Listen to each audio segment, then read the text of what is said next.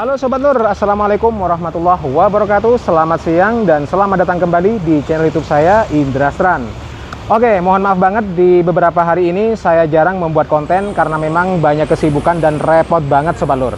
Nah, di video berikut ini saya mau menawarkan sebuah unit 11 GB NLR yang bakalan saya review terlebih dahulu. Kebetulan unitnya ada di belakang saya ini Sobat Nur. Nah, buat kalian yang minat untuk membeli atau meminang sebuah 11 GB NLR bisa kalian simak video ini. Siapa tahu dari kalian ada yang cocok terhadap unit yang bakalan saya review ini oke? Untuk video selengkapnya ini dia videonya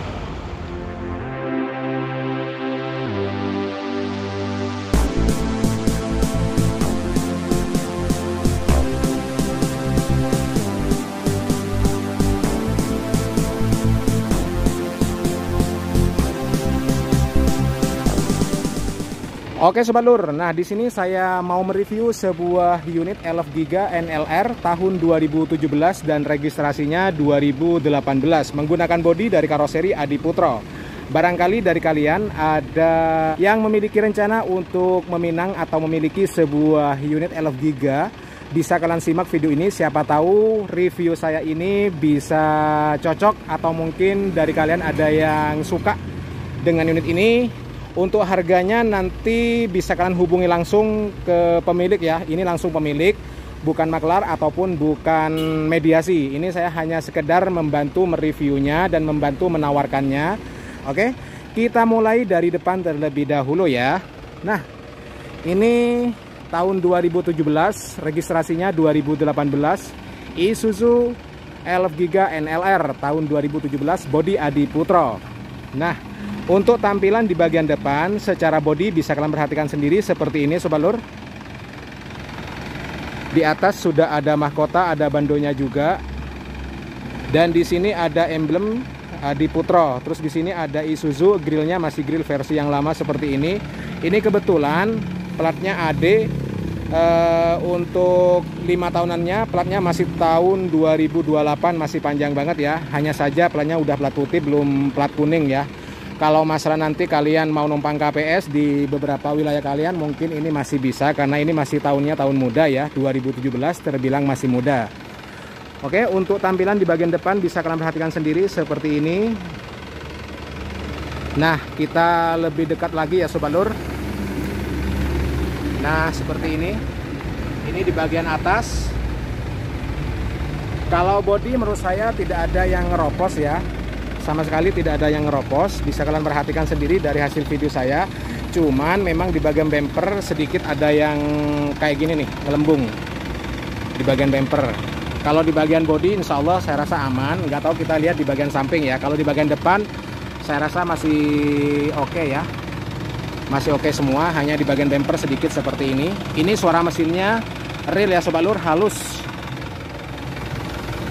Kita lihat di bagian samping kanan. Nah di bagian samping kanan seperti ini. Kita lihat dulu di bagian talangan. Bisa kalian perhatikan sendiri dari hasil video saya karena video saya ini dibuat secara real ya. Kalian bisa menilai sendiri karena ini posisinya di atas jadi saya tidak bisa melihat secara detail. Bisa kalian melihat sendiri dari hasil video saya ya. Kita mulai dari bagian talangan. Oke. Seperti apa? Di bagian talangan nah itu di bagian talangan di sebelah kanan ya. Untuk kacanya blok tidak ada loket kaca di sebelah kanan. Nggak tahu kalau di sebelah kiri kita lihat habis ini. Nah kita mulai dulu di bagian tengah. Kalau di bagian kaca saya rasa aman. Ada stikernya kayak gitu. Sebentar ya sebalur. Sedang apa kita lagi ada adan kita berhenti sejenak ya. Oke Sobat lanjut lagi ya kita lanjut mereview di bagian samping terlebih dahulu karena tadi di bagian talangan di sebelah kanan sudah selesai. Kita langsung beralih ke di bawahnya kaca ya di masih di sebelah kanan. Oke seperti ini tampilan di sebelah kanan. Bodinya bisa kalian perhatikan sendiri. Nah seperti ini. Oke seperti ini ya. Kalian bisa menilainya sendiri seperti ini. Oke, di bagian bawah. Ini ada tangki solarnya di sini. Sudah ada itu apa semacam stainless stainless pangkon. Oke seperti ini sobat lur. Kondisi unitnya di sini hanya ada yang lecet seperti ini maklum pemakaian wajar. Oke untuk bannya oh ini bannya. Saya perhati saya perlihatkan ya. Kalau bannya menurut saya ini masih 50% ini saya membuat video apa adanya real ya sobalur nah ini bannya masih 50% yang di belakang sebelah kanan ya. Oke di bagian bawah. Bisa kalian perhatikan sendiri. Nah selesai. Nah kita lihat di bagian ban depan. Kalau ban depannya tebel banget sobalur durafis ya bannya masih tebel banget masih 85% tebel banget bannya seperti ini. Insya Allah kalau soal mesin aman sobat body juga masih aman. Ini dijual karena mau permajaan unit. Si bosnya mau permajaan unit. Oke di sebelah kiri kita lihat dulu seperti ini. Kita mulai dari talangan terlebih dahulu ya. Nah seperti ini kalian perhatikan sendiri ya karena saya tidak bisa mengakses melihatnya langsung ke atas. Bisa kalian melihat dari hasil video saya ya seperti ini. Cuman di atas tuh ada yang lecet sedikit. Ini saya bicara apa adanya sesuai yang ada di video ya. Oke seperti ini. Terus di bagian bawah kaca bisa kalian perhatikan. Maaf sambil ada orang solawatan ya. Ini kebetulan uh, sudah dan duhur selesai Oke, seperti ini ya sobat lur. Nah, di bagian bawah juga ada pangkonnya stainless, kanan kiri juga sudah lengkap ya variasinya. Jadi tinggal pakai, siap kerja, no PR. Dan unit ini tidak ada bekas laka atau tidak pernah terjadi insiden laka ya ataupun kena banjir. Untuk tampilan di bagian belakang seperti ini sebalur. Nah, ini ini tampilan di bagian belakang seperti ini. Oke? Seperti ini. Ini bukan lecet ya tapi ini memang kotor. Oke? Oh ini ada lecetnya sedikit. Terus di sini ada lecetnya sedikit maklum pemakaian. Knalpotnya sudah double ya kanan kiri. Nah seperti ini. Terus di bagian atas masih aman. Cuman di sini minusnya menurut saya di bagian loket kaca sobat lur. Loket kacanya kayaknya pecah. Ini perlu diganti. Ini sedikit aja ini. Selebihnya aman semua. Bodinya masih lempeng. Bodinya masih lempeng istimewa banget. Oke seperti ini. Kalau ban kita perhatikan dulu. Bannya ini menurut saya masih tebal banget masih 85% istimewa bannya. Keren. Bisa kalian perhatikan sendiri. Nah seperti ini. Oke. Kalau di belakang bannya oh ini masih 65% 70% kurang lebihnya seperti ini. Nah seperti ini bannya tebel banget ya. Keren banget. Selesai semua apalagi ya. Habis ini kita lihat di bagian interior ya sobat lur. Kita lihat di bagian bawah bisa kalian perhatikan seperti apa.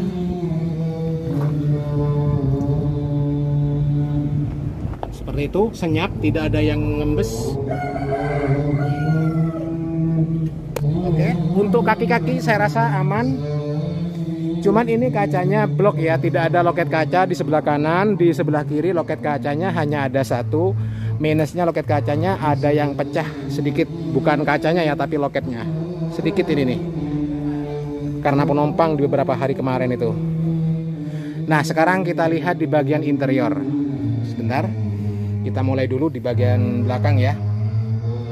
Lantai-lantai masih aman, sudah dilapisi karpet seperti ini motifnya. Oke, seperti ini di bagian dalam. Nah, di bagian door trim masih orisinil di Putro. Oke. Ada cup holdernya juga, ciri khasnya di Putro seperti ini. Nah, kita lihat di bagian sini. Di bagian atas plafon.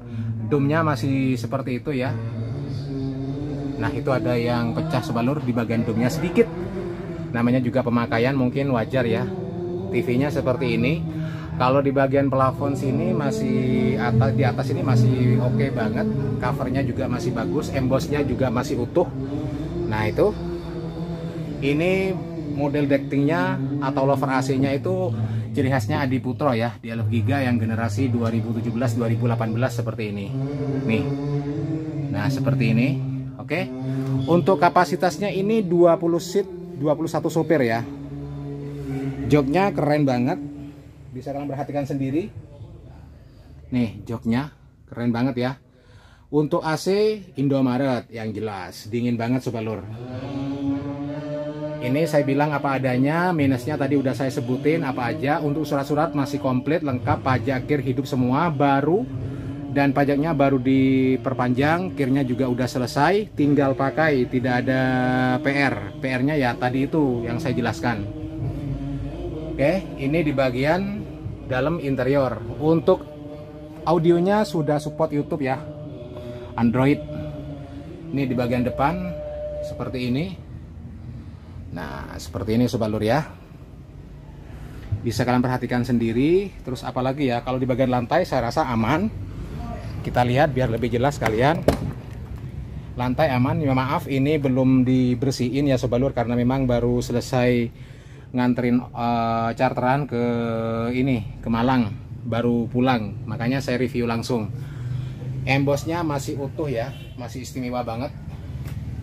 Nih, embossnya masih oke. Okay istimewa banget bisa kalian perhatikan sendiri. Di situ ada charger tapi chargernya masih colokan biasa seperti ini masih versi lama bisa di upgrade sendiri nanti kalau misalkan kalian cocok.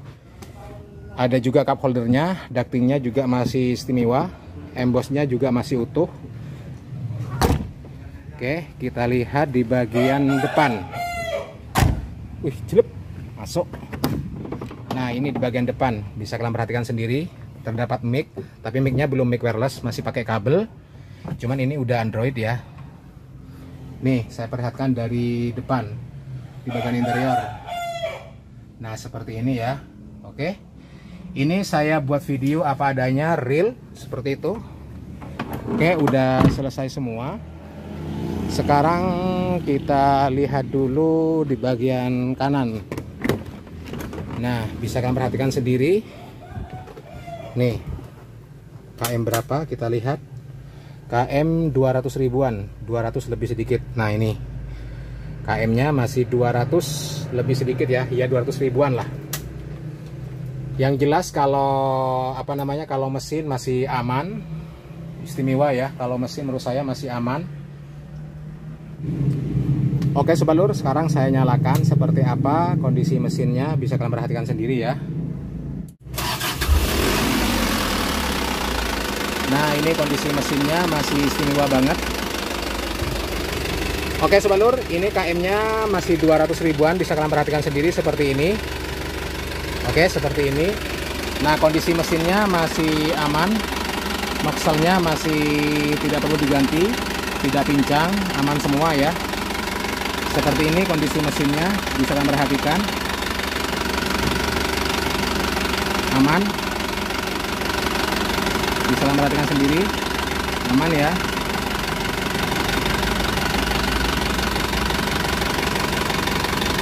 Wah. Panas. Tidak kuat. Uh panas. Baru datang. Jadi kondisi mesinnya seperti ini tidak ngobos aman. Oke. Okay. uh licin tapi yang jelas kalau mesinnya aman sobat lur lebih jelasnya kalian bisa ngecek ke sini langsung ya. A1 langsung pemilik. Oke? Seperti itu.